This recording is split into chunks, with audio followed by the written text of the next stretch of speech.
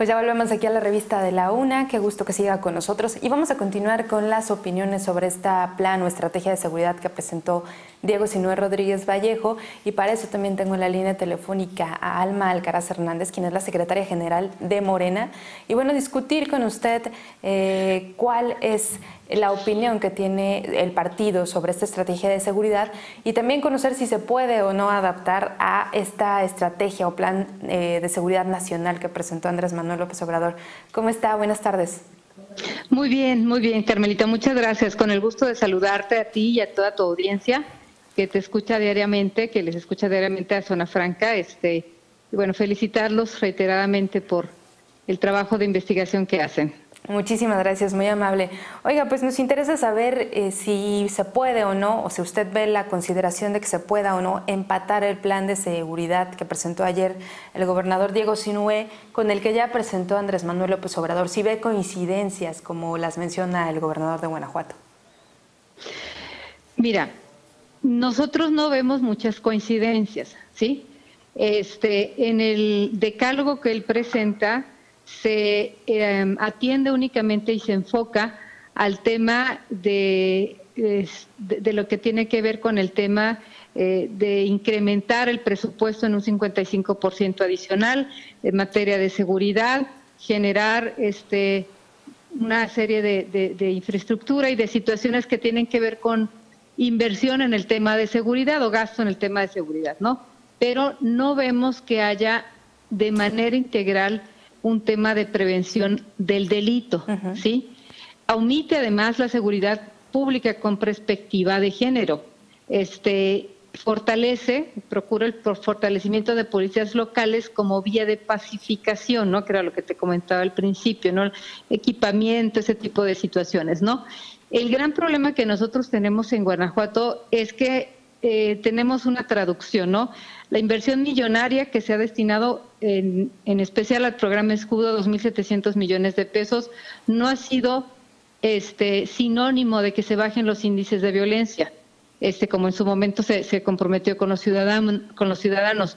Por eso nosotros, Carmelita, no queremos, no, no creemos, francamente, que el incremento del presupuesto en un 55% en materia de seguridad se convierta este, en una disminución del tema de seguridad.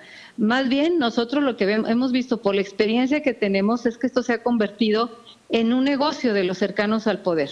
Sí. Este, eh, a expensas, obviamente, de la seguridad de las familias de Guanajuato, ¿no? Entonces, nosotros estamos porque se pugne por más estrategias y menos gasto en el tema de seguridad.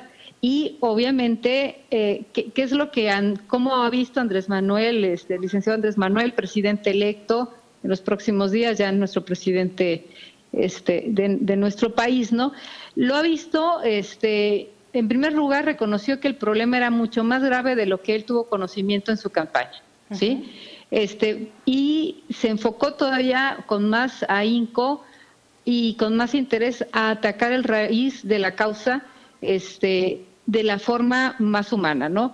Obviamente con, con, un, con una cara más humana con mayores oportunidades para el desarrollo de la población, tratando de recomponer el tejido social, este, generando y fortaleciendo la economía doméstica, generando oportunidades a los sectores vulnerables, este, incentivos para la educación, este, eh, un plan integral, pues, ¿no? Para la atención de la causa del delito, ¿no? A través de una serie de programas sociales.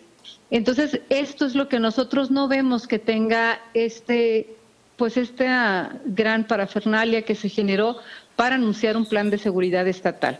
Nosotros consideramos que le falta la parte humana y de recomponer el tejido social que, que, que, ha estado tan dañado en las últimas décadas ¿no? en nuestro país. Entonces, ah, que encaje o no, pues eso ya va a ser cuestión de los especialistas, ¿no? Pero nosotros hacemos un llamado para que se atienda también este, e, este, este tema con, con, un, con una cara humana, con un, con un lado humano, pero también el tema de la violencia de género, este, que nuestro país, este, Guanajuato ocupa los primeros lugares en este tema.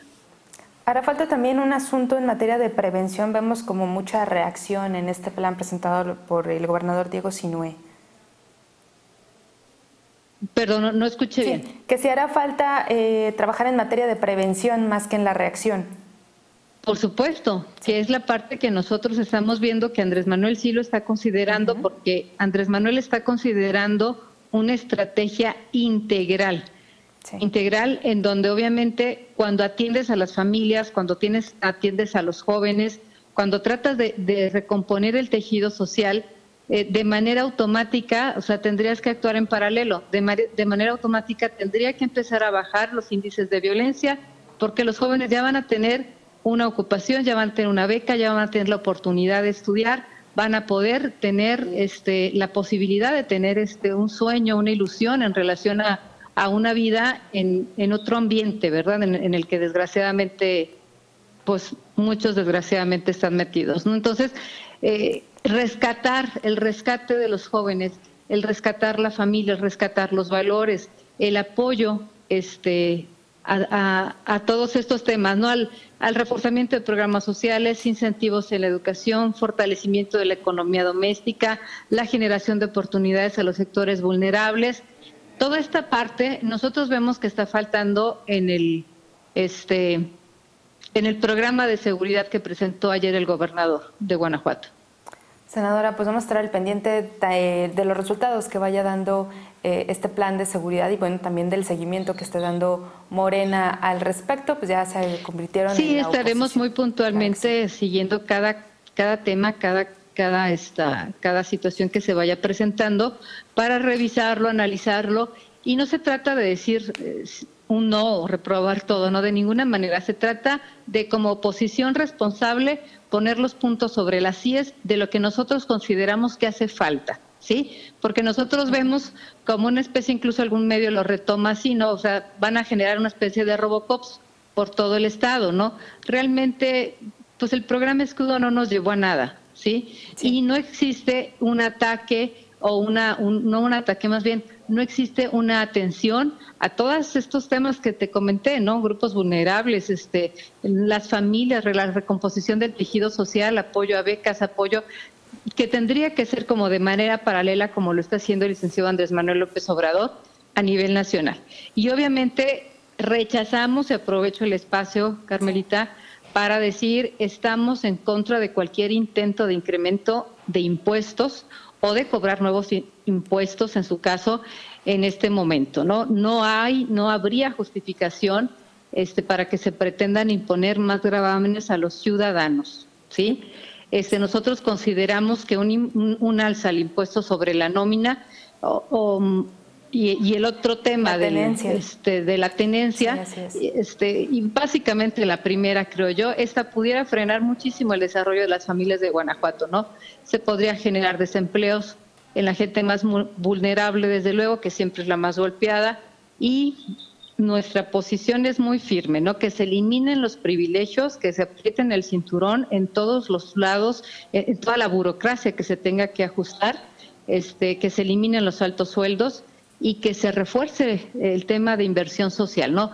Pero nunca, jamás a través de nuevos o nuevos impuestos o aumento en los impuestos que ya existen.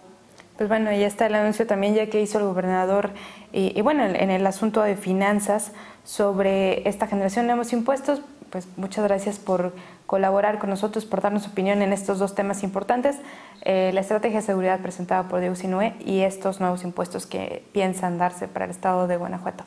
Pues muchas gracias por esta participación. Alma Alcaraz Hernández, secretaria general de Morena en Guanajuato. Muchas gracias a ti y a todo tu auditorio y a todo el equipo que trabaja en Zona Franca. Un abrazo. Gracias, hasta luego. Buenas tardes. Bye bye.